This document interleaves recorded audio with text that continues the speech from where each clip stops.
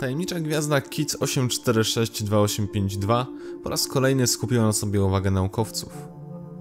Już od 2011 roku mówi się o niedobowych spadkach jasności, które sięgały nawet 20%. Naukowcy wyrywają sobie włosy z głowy, ponieważ nie są w stanie zrozumieć i wyjaśnić pochodzenia tego zaskakującego zjawiska. KIC 846282 to gwiazda znajdująca się w konstelacji Łabędzia, odległa od Ziemi o około 1480 lat świetlnych. Już sama jej odległość praktycznie wyklucza teorię, która głosi, że za drastyczne spadki jasności gwiazdy może odpowiadać egzoplaneta, ponieważ jej rozmiar musiałby być niewyobrażalnie wielki. Oczywiście istnieją bardziej i mniej racjonalne wyjaśnienia dla tego fenomenu. Te drugie zakładają, że wokół KIT 8462852 znajdują się zaawansowane urządzenia tworzące tzw. Tak sferę Dysona. Niektórzy naukowcy twierdzą, że obca cywilizacja typu 2 w skali Kardaszewa stworzyła megastrukturę celem pozyskiwania energii z gwiazdy.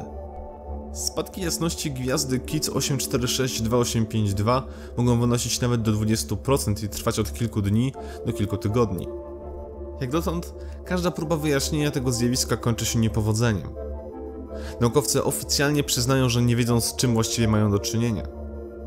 Żeby było jeszcze ciekawiej, w ostatnich dniach znów zrobiło się głośno o tym obiekcie. Astronomowie donoszą, że jasność gwiazdy najwyraźniej znów zaczyna spadać. Obserwatorium Fairborn w Arizonie potwierdziło, że od 18 maja zaobserwowano spadek jasności o 3%.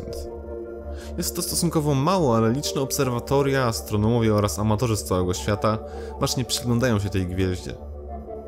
Naukowcy będą próbowali ustalić, co takiego jest przyczyną obecnego spadku jasności i mają nadzieję, że uda im się wreszcie rozwiązać tę łamigłówkę. Na pierwsze informacje oraz na rozwiązanie tej zagadki będziemy musieli jednak cierpliwie poczekać.